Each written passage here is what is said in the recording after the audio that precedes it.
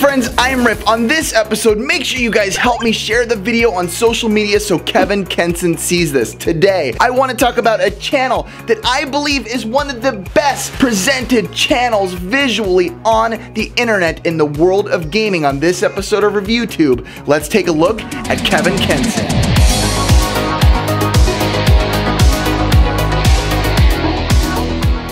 Kevin Kenson was born in March of 1988 and uploaded his first video onto his channel on May 16, 2014 titled Supergiant Games Transistor Review, a worthy successor to Bastion. When on YouTube, it's hard to think of channels that upload tons of videos but also keep a consistency of really good quality and on this channel, I like to pride myself with being able to do that. But upon watching a channel like Kevin Kenson, my pride drops just a little bit. It just looks so nice. We wouldn't be complete without having Cappy on top of our TV. And then of course, none of this would actually make any sense at all if we didn't have a switch setup going on right here. Now, I love that we're actually set up having the switch dock sitting on this end of the pipe. You see, this man drops videos a few times a week and these videos are simply quality. They are beautiful. All of the shots in his videos are gorgeous. His cinematography in each and every video keeps my eyes bright and waiting to watch more and more.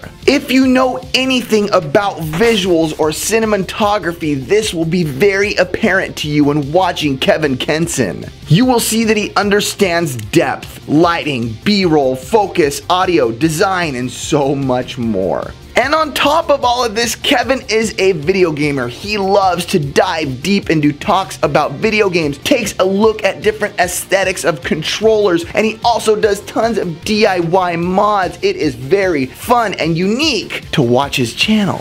This is also accompanied by a dude who can speak to you about detailed things within video games, but done in a way that you can understand as an everyday gamer or relate to as a more experienced video game connoisseur. You know, I like the theme of the old school SNES. I like the gray they used. I like the purple trim, especially in the inside. The one place where we really think something a little extra could have happened though is on the front lid. Right now his channel is sitting around 270,000 subscribers and I know many people might be thinking then why talk about him? enough people know about him, but I think that he deserves much more than that. And with that said, even if my small little channel can help out in any way, I am more than happy to talk about this channel. Lastly, I just need to say that his thumbnails are top tier and look like they belong in a video game art book. None of them seem out of place or like they don't belong with the others. He remains inventive with his look and appeal, yet while maintaining consistency throughout the channel. Now I know this may sound like a bit of a gush fest, but there is not that many channels that I can admire the whole creative process from start to finish of video games and video game delivery and putting video game content on the internet. But Kevin Kenson is definitely one of them, and you need